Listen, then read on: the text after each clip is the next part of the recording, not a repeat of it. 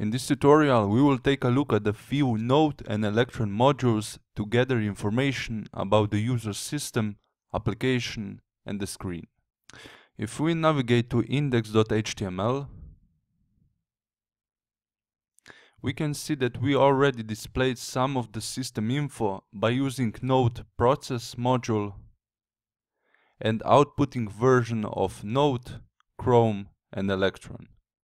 Similarly, we can use another node module called OS, which will provide info about the operating system. Let's display our computer hostname from the render.js file.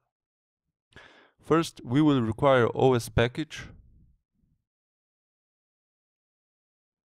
and assign it to the OS constant. We will print it out in the console, so let's write console.log.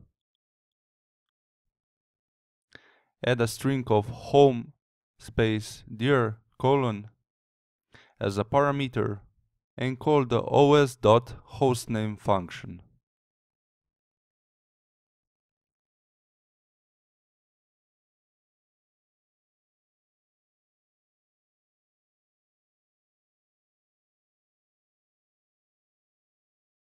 The Electron API also offers a module called app, which is responsible for controlling the application's lifecycle. We will display the application path value. Begin by requiring Electron package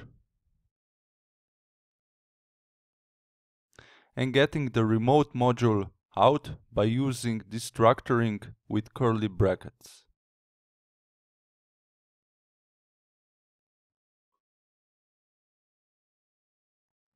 We will use remote module to call app module, which is available only in the main process from our renderer process. Similar to displaying the OS host name, we will print out the application path in the console by running console.log, passing app space path colon as first parameter and calling the remote.app.app get app path function.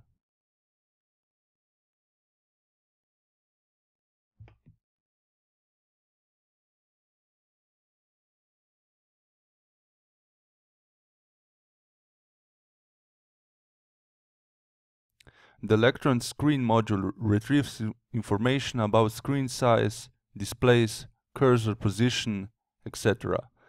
We will use the screen module to gather information about the av available screen to work on and open new browser window with the work area width and height. Begin by navigating to index.html and adding a button with the ID of work-area-size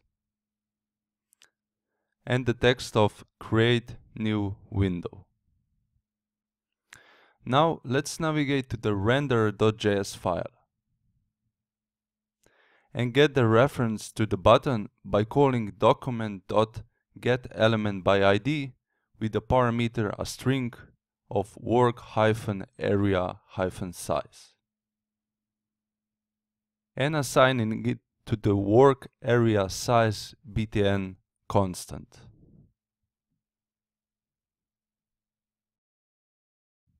Now let's create a click event listener on that button reference. This can be done by calling the add event listener method on the work area size btn.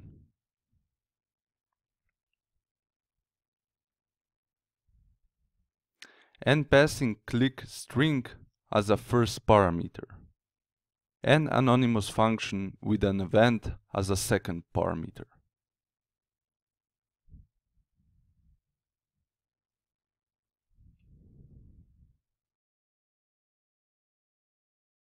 To get the available work area size, we must require the electron package again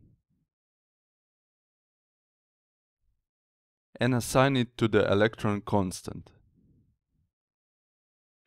We cannot just define the screen constant because window.screen is a reserved property.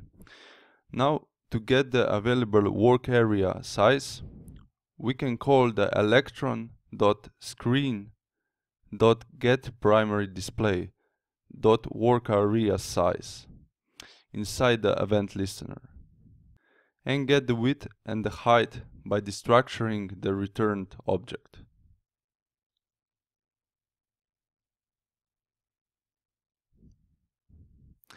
Our work area width and height sizes are available so we can use them to define new browser window width and height.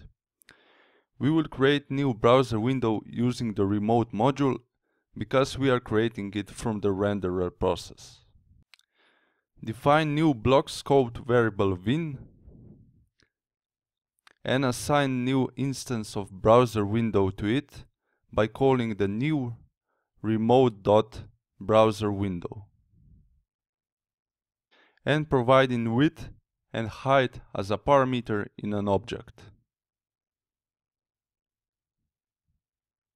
We will display the GitHub website in our browser window, so we call the win.loadURL method and passing in the string of https github.com.